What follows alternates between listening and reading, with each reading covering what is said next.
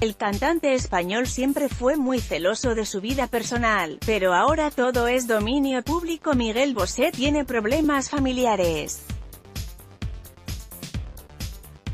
Foto, Andrés Hernández, Agencia Reforma Ha pasado poco más de un mes desde que el nombre del escultor y diseñador Nacho Palau dejara de ser conocido únicamente en los círculos relacionados con su profesión para aterrizar a lo grande en el panorama de la crónica social española, todo ello a cuenta de la demanda que interpuso contra el cantante Miguel Bosé para defender sus intereses y los de esos cuatro hijos que, hasta entonces, se creían exclusivos del astro de la música. De esta forma la opinión pública pudo conocer algunos entresijos de la discretísima relación sentimental desconocida para la mayoría de periodistas y expertos del mundo del corazón que había mantenido la expareja durante cerca de 11 años como informó en un primer momento Carmen Rigalt en su columna de El Mundo, y sobre todo a cuenta de una separación que no se había producido en términos precisamente cordiales. Este miércoles, el despacho de abogados que representa a Nacho Palau, el mismo que dio a conocer públicamente la interposición de la citada demanda, ha publicado otro comunicado para informar de que un tribunal ha admitido a trámite su acción legal y que, por tanto, ambas partes tendrán que verse probablemente las caras en el juzgado para determinar la forma en que gestionarán la crianza de los pequeños Diego, Tadeo, Ivo y Telmo.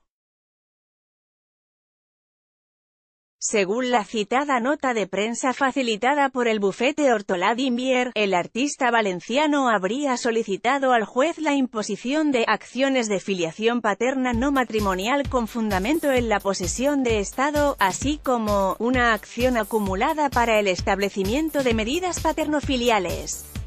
de hijos no matrimoniales, medidas destinadas a propiciar que los cuatro hermanos vuelvan a vivir juntos tras un largo periodo en el que dos de ellos han venido residiendo con Bosé en México, y los otros dos restantes con Palau en la ciudad de Valencia.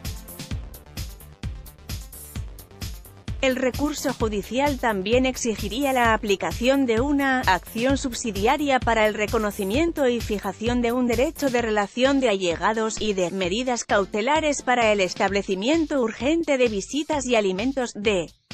lo que se desprende el deseo del escultor de dar entidad legal y apuntalar oficialmente esos derechos que le corresponderían como padre de los niños, independientemente de que Bosé y él nunca llegaran a casarse.